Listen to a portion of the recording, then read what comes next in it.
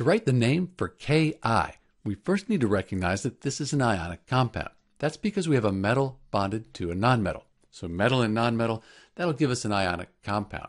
And we need to think about the ionic charge for the compound.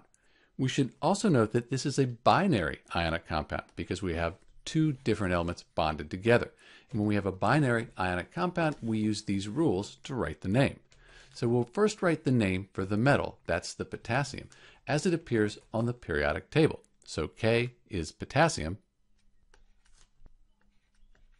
And then for the nonmetal, we write the name as it appears on the periodic table as well. We use a small i, and we replace the ending with IDE.